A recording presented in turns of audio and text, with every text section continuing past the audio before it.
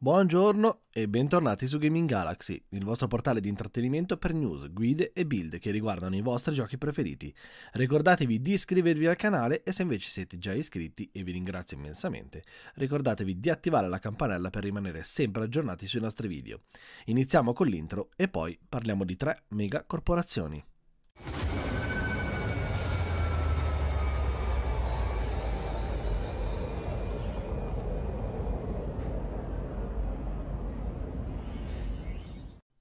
Sarai un uomo fortunato se non ti imbatterai mai nella bellissima e temibile Monolama e nel suo produttore.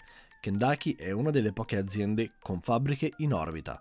Sebbene abbiano la tecnologia più avanzata al mondo nella produzione di cristalli orbitali e gas fiber, non ottengono molti profitti. Come possono quindi creare fabbriche in orbita? Le grandi società giapponesi spesso investono fondi in piccole aziende con tecnologia originale per inserirle nell'esclusivo sistema Keiretsu.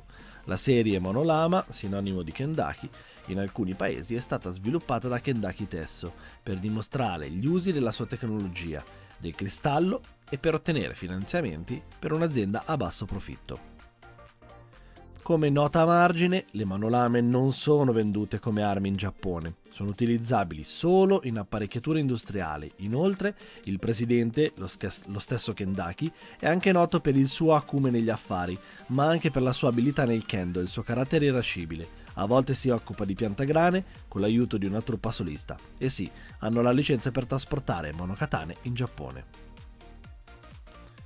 Kenshiri Adaki Armament, più comunemente noto con il suo nome abbreviato, Kendaki, è un produttore di armi giapponese specializzato in tecnologia avanzata. I loro prodotti più famosi sono la serie di monolame, il lanciafiamme pesante F253 e il lanciafiamme portatile Dragon. La Matsushima Kiroshi Optics è una società giapponese nata nella capitale della montagna della prefettura di Nagano. La corporazione viene spesso definita Kiroshi Optics o semplicemente Kiroshi.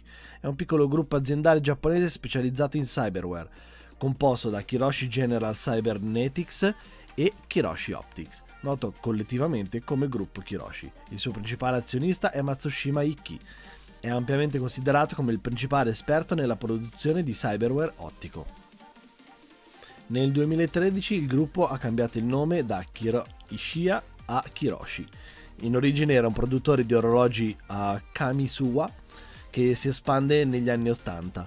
Ha avuto il suo più grande impulso lanciando una fabbrica orbitale con l'aiuto di Jab e la Kenji Technology. Presto Kiroshi ha praticamente monopolizzato il settore dell'ottica a causa della qualità dei suoi prodotti e di altri prodotti come l'OptiShield, la Cybercam o l'OptiFlash. Kiroshi ha legami molto stretti con Kenjiri e hanno in orbita una società di produzione congiunta per essere più vicini al processo di produzione. Ora Kiroshi punta a dominare tutto il mercato asiatico, Hong Kong e Shanghai, dove vengono realizzate imitazioni di Kiroshi a basso costo. Kangtao è una giovane società cinese specializzata nella tecnologia delle armi intelligenti e nei servizi di sicurezza. Si sta facendo strada verso il vertice dell'industria delle armi a un ritmo eccezionale, grazie a scelte coraggiose, strategie coraggiose e sostegno del governo. Bene, queste erano tre mega corporazioni dell'area asiatica che sicuramente troveremo all'interno del nostro nuovo mondo di cyberpunk e della CD Projekt. Chissà quanti player vedremo con eh, le mano katane, ovviamente, ne avremo fin fuori dalle orecchie, ne sono assolutamente certo, aspetto gli screenshot. Con questo è tutto, noi ci vediamo a Night City.